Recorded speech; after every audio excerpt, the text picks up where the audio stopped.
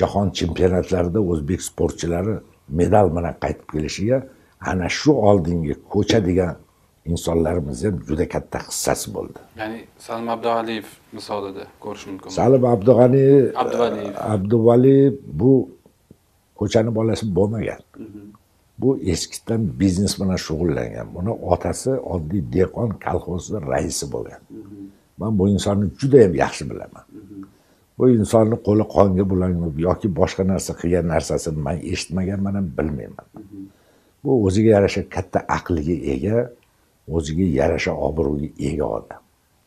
Endi xalqimizni ichida shu mana shu inson to'g'risida har xil gaplar chiqib ketgan.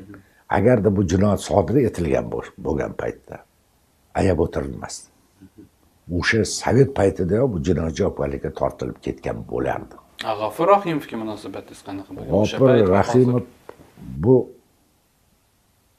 metsenat degan so'z bor tushunasizmi bu ikkalasi ham shunaqa toifadagi odamlar lekin o'zbek uchun o'zbekni xalqi uchun jonini berib yuboradi ikkalasi vatanparvar ikkalasi ham vatanparvar yoshlikda hamma sho'x bo'lgan hamma endi ko'cha kuyda yurgan bir ma'lum bir obro'ga ega bo'ladi mana ikkalasi ham biror marta jinoiy javobgarlikka tortilmagan. Bilasizmi? Agar sovet ittifoqi paytidami mustaqillik paytidami bular jinoyat sodir etgan bo'lganda bular albatta jinoiy javobgarlikka tortilgan bo'lardi. U paytda ayab o'tirilmasdi. Shuning uchun ham biz bilan bo'lgan suhbatda u insonlarga sportga ahamiyat berish masalasi alohida turlari bilan shug'ullanish masalalari ularni oldiga qo'yildi. Allohga ming qatla shukur beadad shukur deymiz. Bu ikkalasi ham vazifasini hozir ham a'lo darajada bajaryapti.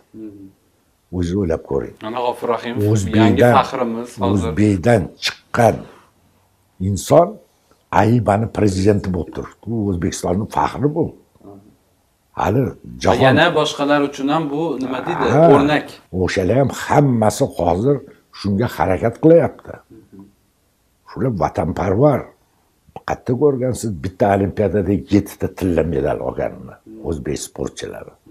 Oldinda hali juda katta marralar turibdi.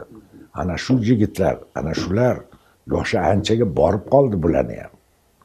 Bular endi qo'lidan kelgan hamma narsani qiladiki o'zbekni sporti rivojlansin degan masalada.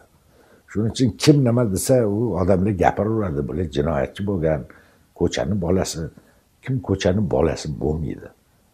Maktabdan keyin ko'chada yurasiz. Yigitchilikda ba'zi bir bilan urushadi so'kishadi sport bilan shug'ullanasiz. Lekin jinoyat botqog'iga botib ketmaslik u совсем boshqa narsa umuman boshqa narsa bu